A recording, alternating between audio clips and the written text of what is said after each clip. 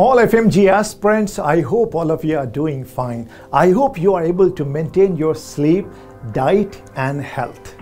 So many medicos are asking one question Are the last two months enough to pass FMG exam? My answer is yes. Last two months are actually enough to score well if there is proper roadmap, guidance, and mentorship. Then, yes, it is pretty doable. As a matter of fact, minimum four revisions are required with mock exams. Now let's see how we have planned this for you. I expect at least for one time you have completed all 19 subjects in detail. Now, what is the next plan? Next plan is to revise with the help of test and discussion.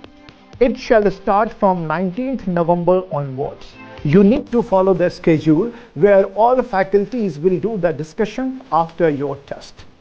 There will be five mock exams where you can assess your level of preparation.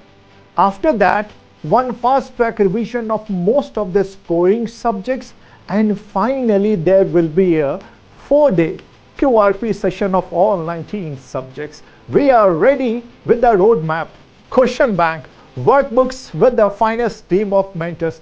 Are you ready for this? If you are ready, let's get connected. I wish you all the best.